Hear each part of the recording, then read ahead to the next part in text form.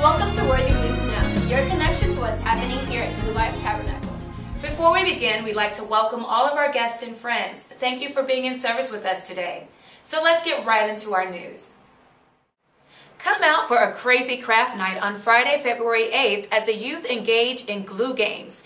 Build a skyscraper with straws, how about a marshmallow fort, or create a card for a loved one. After the crazy feats, the youth will make cards for children in the hospital. Cards and well wishes will be delivered on Saturday, February 9th. The fun begins at 7.30 p.m. in Modular 2. For more information, contact Minister Aurelio Lessi.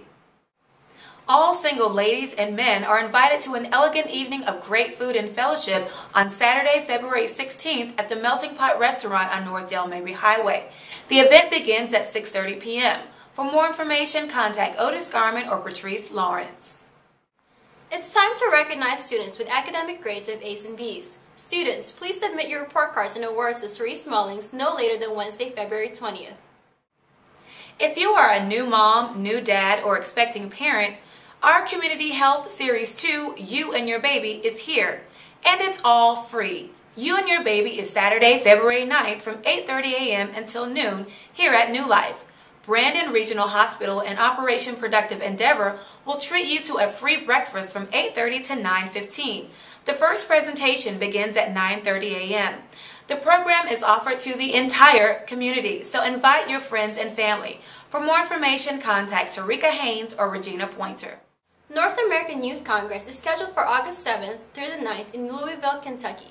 New Life has reserved rooms for 20 people. If you're interested in attending as a youth or a chaperone, please contact Kenyatta Harris. Spots will be reserved on a first come, first served basis. Please help us take care of the house of God. There is no eating, drinking, or gum chewing allowed in the sanctuary, baptistry areas, or foyer. Infants may be fed in the nursery. Thank you for understanding. Take a look at what's happening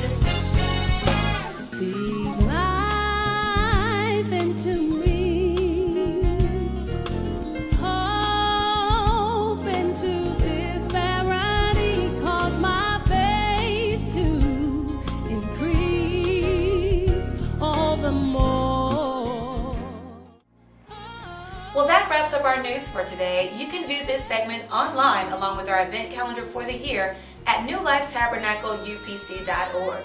Thanks for watching. I'm Kenyatta Harris, And I'm Kay Duenas. and this is Worthy News. Lord, show your mercy.